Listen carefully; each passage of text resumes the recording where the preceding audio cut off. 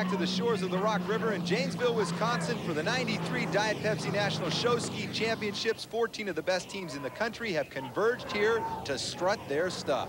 That's right, Dan. Although it is a national championship, we'll find that many of the teams are centered right around the Wisconsin-Illinois area.